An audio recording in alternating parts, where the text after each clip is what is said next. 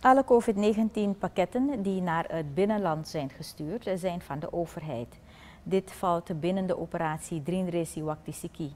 Dit zei Daniela Feira, directeur Nationale Veiligheid, gisteren op de reguliere COVID-19-persconferentie. Ze erkent dat bij de distributie van de pakketten de indruk kan zijn ontstaan dat de actie politiek gelieerd was. Er waren namelijk NDP-vlaggen op de boten en de werkers hadden NDP-shirts aan. Maar we kunnen de mensen niet beletten om tijdens de distributie partijkleding aan te hebben, benadrukt Feira. In het weekend zijn er 2350 pakketten naar het binnenland gestuurd. Feira zegt dat het belangrijkste is dat vanwege de lockdown de mensen in de dorpen voorzien moeten worden van een voedselpakket.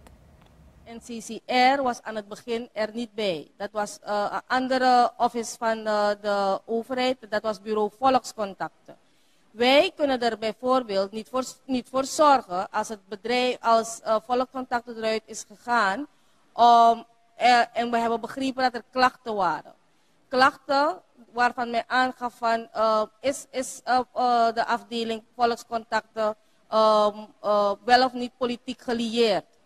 Wij kunnen niet bepalen wat mensen wel of niet dragen wanneer ze hun werk doen. Waarvoor we wel moeten zorg dragen is dat mensen de pakketten krijgen. Wij hebben vanaf het begin aangegeven dat NCCR logistiek doet. We hebben geëvalueerd, we zijn nog steeds in evaluatie en hebben aangegeven, ja, NCCR gaat nu beginnen, zoals ze dat gewend zijn geweest in het heel COVID gebeuren, om in deze dus dan de kaart ook te trekken voor wat betreft de COVID pakketten. Dus u gaat NCCR zien, mensen, Theoshi Desmatapaliba of, of uh, in de Opolanina NCCR.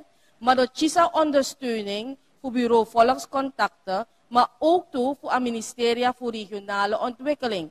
Because de, de, uh, de two uh, um, uh, uh, kantoren die en of het ministerie, de hebben den contactie in het binnenland. En NCCR hebben contactie ook toe. Dus zo gaan ze met elkaar samenwerken om ervoor zorg te dragen dat um, er geen situatie ontstaat dat men het gevoel heeft dat um, de pakketten niet op een goede wijze worden verdeeld. De coördinator van het NCCR, Jerry Slijngaard, zegt dat het NCCR niet betrokken was bij de eerste zending. Wat we niet ontkennen is dat er pakketten zijn verdeeld. En uh, het is al aangegeven dus dat de het vervolgtraject dus eentje gaat zijn waarbij we dus uh, gebruik gaan maken van de reeds bestaande infrastructuur in het binnenland om de pakketten dus op een efficiënte en adequate wijze te verdelen.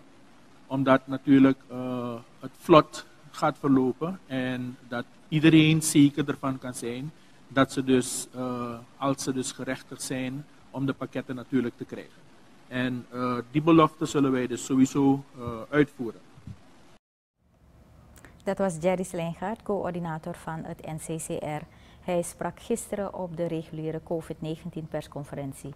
Het managementteam zegt dat alle pakketten die naar het binnenland worden gestuurd van de overheid afkomstig zijn.